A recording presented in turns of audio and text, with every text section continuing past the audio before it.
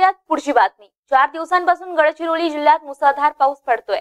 वैनगंगा प्राणहिता गोदावरी कठाणी या नद्यांनी धोक्यांची पातळी ओलांडली आहे. नदीकाठच्या गावांना सतर्कतेचा इशाराही देण्यात आलाय. त्यामुळे दक्षिण गडचिरोली जिल्ह्यातील जनजीवन हे पुरत विस्कळीत झालं आहे. गडचिरोली जिल्ह्यात गेल्या चार दिवसांपासून सुरू असलेल्या मुसळधार पावसामुळे पर्लकोटा नदीला पूर आलाय. या पुरामुळे भामरागडसह तालुक्यातील शेकडो गावांचा संपर्क तुटलाय.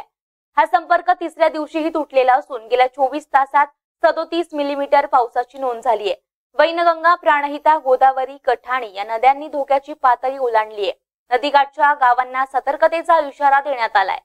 पावसामुळे भामरागडसह अहेरी सिरोसा मुलवेरा एटापल्ली तालुक्यातील शंभरहून अधिक गावांचा संपर्क तुटलाय. अनेक मुख्य मार्गावर झाडे कोसळली आहेत त्यामुळे या तालुक्यातील भ्रमणध्वनी आणि वीज सेवा ही गेल्या दोन तीन दिवसांपासून बंद